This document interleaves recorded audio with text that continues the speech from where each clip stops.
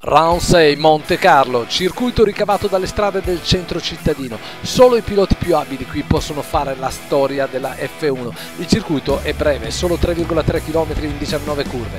Grazie alla velocità dei rettilini e dai tornanti a gomito, più dell'assetto qui importa il coraggio. L'anno scorso ha saputo imporsi il pilota Re 9795 dopo una bellissima gara. Quest'anno nell'avvincente campionato del Master of Champions sarà sempre il pilota Williams Antonio Lasia a fare la differenza?